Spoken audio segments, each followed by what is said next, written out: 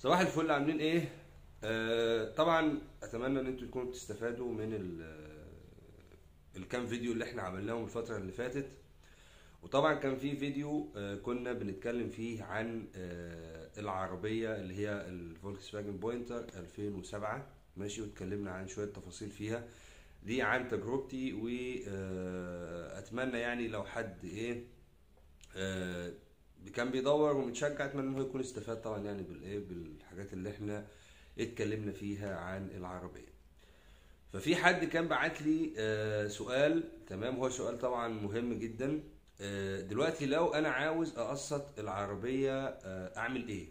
تمام؟ وطبعا موضوع القسط ده برضو بينطبق على آه، حاجات كتيرة جدا ماشي؟ في حياتنا عموما يعني. آه، يعني لو انت مثلا بتعمل shopping طبعا دلوقتي بقى في أنظمة تقسيط على يعني Jumia و Souq و Cairo Sales ومواقع كتيرة جدا بتقسط يعني. ماشي؟ آه و Raya Shop RadioShack تقريبا يعني معظم ال shopping دلوقتي أصبح فيه تقسيط. تمام؟ فأنا دلوقتي لو أنا عاوز أشتري عربية طبعا الكلام ده أنا بكلمه لكم عن تجربة الموضوع كان في دماغي من فترة وأنا متابع الموضوع من زمان قوي فهنتكلم النهارده بشوية أرقام عن الموضوع ده وإنك إزاي تحسب القسط بتاع العربية بتاعتك ده لو أنت آه، ناوي تجيب جديد أو قديم. فإحنا هنتكلم الأول في الجديد بعدين القديم. خلاص؟ فدلوقتي أنت الأول هنحكي شوية تفاصيل كده عن موضوع الجديد والقديم وإيه الفرق. طبعا الفرق في الفايدة اللي الشركة أو المعرض بيحطها على الإيه؟ على العربية. ماشي؟ يعني أنت لو كلمت مثلا آه، موقع فابريكا. موقع فابريكا بيحط عربيات تعتبر كسر زيرو وعربيات مستعملة ولكن تم فحصها كويس ومراجعتها وشوية حاجات كده يعني. وبعد كده بيعرضها هو على الموقع. يعني أنت لو دخلت على فابريكا هتلاقي في أسعار عربيات مستعملة موجودة. ولكن المشكلة آه، اللي انت لما بتيجي تشتري مستعمل مع ان أنا مش عارف إيه السبب بتدفع فايدة مثلا 16% ماشي؟ يعني أنا في مرة كنت بسأل على عربية آه، المفروض العربية دي في السوق مثلا سعرها آه، 90000 مثلا عايز انت تشتريها منه على ثلاث سنين مثلا. تضرب الفايدة 16% في ثلاث سنين وهقول لك إزاي نحسب الايه القصة دي. أما الجديد طبعا فأنت بتتعامل مثلا مع البنك أو بتتعامل مع معرض فالفايده بتبقى بتبقى أقل. ماشي؟ طبعا أنا مش عارف هم ليه بيعملوا الفايدة كبيرة قوي كده على المستعمل عشان يضمن حقه بدري ولا إيه؟ أنا يعني مع يعني نسبة قليلة جدا أعتقد إن هو ال- اللي هيشتري مستعمل بالفايدة دي. يعني ممكن مثلا لو حد ملوش تعامل مع البنوك خالص فيضطر إن هو يتعامل مع ده بالفايدة اللي هي معروضة دي. فخلينا عشان ما نتوهش من بعض. ماشي؟ أنا دلوقتي بروح للبنك. ماشي؟ وعاوز آخد سيارة قسط. تمام؟ فانا هدفع قد إيه؟ ماشي؟ أو مثلا هروح للمعرض وفي عربية معروضة خلينا نحسب بقى كده. ماشي؟ آه العربية دي مثلا سعرها 200 هن- خلينا نتكلم في ارقام صغيرة علشان ما تتوهش مني. أما مثلا العربية دي سعرها 100000 جنيه. خلاص؟ وأنا معايا 50000 جنيه. عايزك تحسب بقى كده إيه؟ معايا كويس. حلو؟ فبالتالي باقي كام؟ باقي كام؟ خمسين ألف جنيه كمان اللي هو المفروض البنك هيدفعها لي. ماشي؟ البنك بيمولك بي... طبعا موضوع الحلال والحرام ده أتمنى الناس طبعا تدور عليه لأن ده مش إيه مش النقطة اللي إحنا بنتكلم فيها هنا. ماشي؟ عشان ما حدش يسألني يقول أو يقول لي دي حلال دي حرام.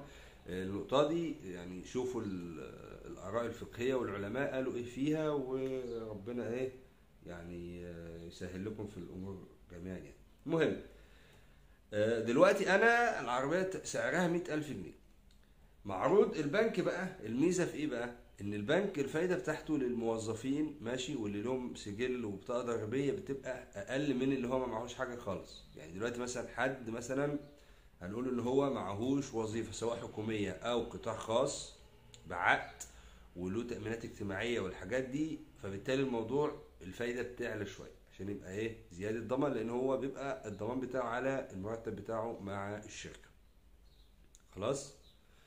فبالتالي باقي خمسين ألف جنيه. ال الخمسين ألف جنيه دول هاخدهم من البنك في مثلا في خمس سنين اللي هم ستين شهر. اللي هو كام؟ ستين شهر. ماشي؟ وعليهم هنقول فايدة مثلا أقل فايدة في يعني بنك كنت أنا سألت بنك ال CIB مرة كان عامل الفايدة بحوالي 7.3% ماشي؟ في بنوك طبعا سبعة ونص وفي تمانية وفي تسعة. على حسب الحالة بتاعتك. خلاص؟ لو أنت موظف فهو بي- بيبقى بيقلل لك الفايدة. لو انت معاك سجل تجاري وبطاقة ضريبية الفايدة بتزيد شوية. لو انت ما معكش خالص بدون عمل الفايدة بتزيد توصل ممكن ل 10% ويمكن أكتر. ماشي؟ وقرض السيارة غير القرض بتاع الايه؟ الشخصي القرض الشخصي. القرض الشخصي فايدته بتوصل ل 11 في 11.2% ماشي؟ عشان برضو إيه الناس تبقى فاهمة. فازاي احسب؟ أنا دلوقتي هنفترض ان الفايدة مثلا 7% خلاص؟ 7% في خلال خمس سنين هتدفع قد إيه في الشهر؟ في خلال خمس سنين هتدفع شهريا اللي هو في 60 شهر هتدفع كام؟ وفي مصاريف بتنضاف. يبقى أنا دلوقتي أنا محتاج 50000 جنيه من البنك ماشي؟ يبقى أنا عاوز السبعة في المية دي في خلال خمس سنين اضرب سبعة في خمسة بخمسة وتلاتين في المية. خمسة وتلاتين في المية في خلال الخمس سنين. طبعا حد يقول لك فايدة مركبة فايدة بسيطة مش عارف إيه ما, ما تشغلش بالقصة دي. أنت اللي هتكلمه. هتقول له أنا عاوز دلوقتي كل شهر أدفع مبلغ ثابت لا يتغير خلال الستين شهر. خلاص عشان إيه محدش يتوه بقى ويقول لك فايدة متناقصة ومش عارف إيه واللفة الطويلة دي أنت مالكش دعوة بيها. يبقى أنا عندي سبعة في المية في خمس سنين في المية. دي الفايدة أو المبلغ اللي هيتم إضافته على المبلغ اللي أنت واخده على الخمسين ألف. فبالتالي يبقى أنا عندي خمسين ألف زائد في المية نسبة الفايدة واضربها في خمسين ألف كمان هتديك كام؟ سبعة وستين ألف وخمسمية جنيه. ماشي؟ سبعة وستين ألف وكام؟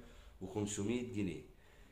المبلغ ده ماشي؟ المبلغ اللي هو طلع لنا ده اللي هو يعتبر طالع من البنك بالفايدة بتاعته. ماشي؟ ولكن انت اللي, اللي هو هتدفعه للبنك ولكن انت إيه؟ هتاخد كام؟ هتاخد خمسين ألف جنيه بس. محدش يتوه. ومح- برضه ما تخليش حد يضحك عليك أو أي موظف يحط أرقام زيادة وكده لأ أنت قول له الفايدة دلوقتي واقعد احسبها معاه بالطريقة اللي أنا بحسبها معاك دي. وهتروح تعمل كده سبعة وستين ألف وخمسمية على ستين شهر يبقى أنت المفروض هتدفع كام؟ ألف مية خمسة وعشرين. خلاص؟ في خلال الستين شهر. إيه اللي إيه اللي الم- المصاريف بتن يعني ب... البنك بياخدها؟ ما هو برضو البنك ليه مصاريف إدارية. والبنك المركزي طبعا لازم يجي موافقة من البنك المركزي يعني الموضوع بيمشي كده. أنت بتقدم بيبعتوا للبنك المركزي. البنك المركزي يشوف حاجة اسمها ال I-Score يشوف عليك قروض آه، عليك حاجات ما سددتهاش للبنك عليك بيجيب لك التاريخ بتاعك كله التاريخ الائتماني بتاعك. تمام؟ وتأكد إن أنت معكش حاجة مثلا. خلاص يبقى أنت متاح ليك نسبة كذا. طب متاح ليك نسبة كذا كام من مرتبك؟ لو مرتبك مثلا هنقول إن هو 1000 جنيه يبقى أنت ليك 35% في 1000 جنيه. ليك 350 جنيه آه، ينفع تاخد بيهم قرض. ماشي؟ يعني مثلا حد بياخد 10000 جنيه يبقى ليه كام؟ 35 في هي 35 مش عارف بقى زادت أو هي مش هتقل عن 30 يعني بس هو الفاكر الفترة دي كانت حوالي 35% ماشي؟ في 10000 ليك 3500 جنيه آه، قسط شهري متاح ليك إنك تاخد بيه قرض. يعني ال 3000 ونص دول لو انت جيت تاخد بيهم قرض اضربهم في 60 شهر وطلع منهم نسبة الايه؟ نسبة الفايدة بتاعة البنك. فبالتالي لو أنا دلوقتي عاوز آخد 100000 جنيه هنحسبها كمان مرة أنا عاوز دلوقتي آخد 100000 جنيه القسط بتاع ال 100000 جنيه هيبقوا كام؟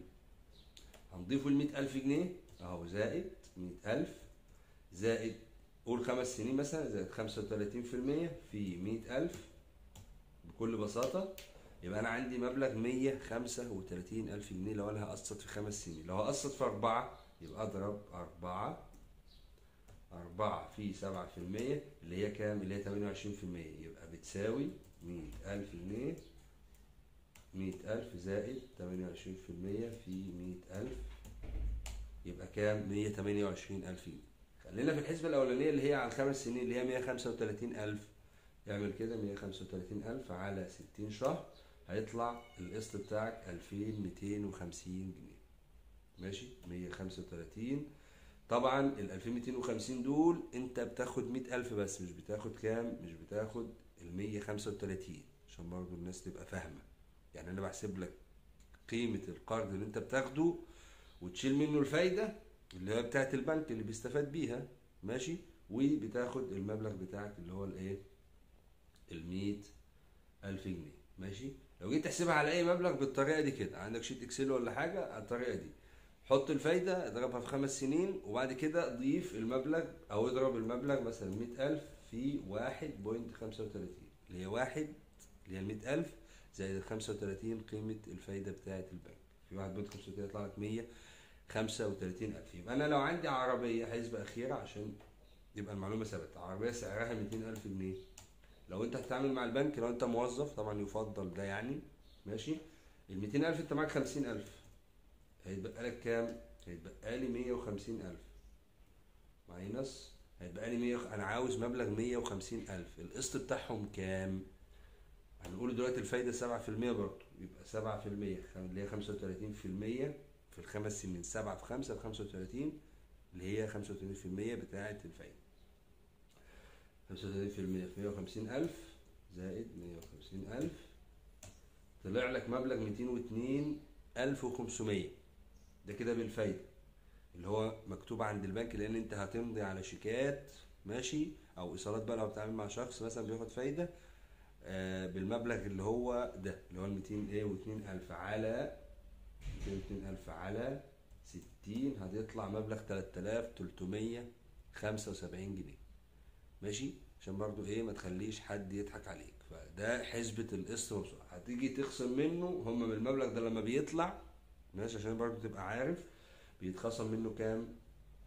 دلوقتي أنت هتاخد 150 ألف اخصم منهم واحد في المية لل آه، يعتبر مصاريف إدارية وتمن الشيكات اللي أنت بتمضي عليه 150 ألف في واحد في المية اللي هو 1500 جنيه و150 جنيه شيكات. يعني بتتكلم في 1650 جنيه 1650 ماشي؟ يبقى انت كده الحسبة كلها بتاعت القسط. وأي قسط برضو بنفس القصة. يعني لما تعوز تحسب القسط بتاعك مظبوط تعرف الناس دي آه، آه، حاسبينها صح ولا لأ احسبها بالطريقة دي.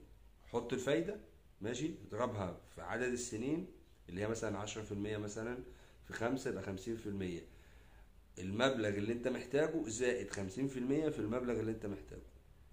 ماشي؟ اتمنى ان أنتوا إيه ما تكونوش تهتوا والحسبة تبقى مظبوطة علشان محدش يضحك عليك ولا ياخد منك مبلغ زيادة ولا يسجل عليك مبلغ زيادة. فاي عربية لو انت عربية مستعملة وبتقدم على قرض شخصي بس اسألوا عن الموضوع الأول حلال ولا حرام عشان برضو إيه ما بقاش أنا متحمل زي أنا بحكي لكم بس اللي بيحصل لما بتيجي تاخد سواء قرض شخصي أو قرض سيارة. ماشي طبعا قرض السيارة آه، أقل من الإيه من القرض الإيه من القرض الشخصي العربيات المستعملة القرض. الفايدة بتاعتها زي ما قلت لكم ممكن توصل ل 12 و13 و14 وفي شركات بتوصل ل 16% لأنه عايز يعني يلم ثمن الإيه العربية في أسرع وقت بس بعد كده بتبدأ أنت شوية ورق كده بتوع البنك مطاقات بقى وحاجات وت...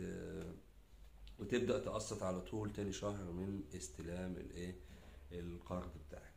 بس لو في حد ما فهمش حاجة أو في حاجة إحنا ما قلناهاش يقول لنا في الكومنتات وكل التوفيق إن شاء الله ويا رب إن يعني كل واحد يشتري اللي هو نفسه فيه ويحقق أحلامه وإحنا كمان نشتري إن شاء الله عربيه الفترة اللي جاية دي بإذن الله.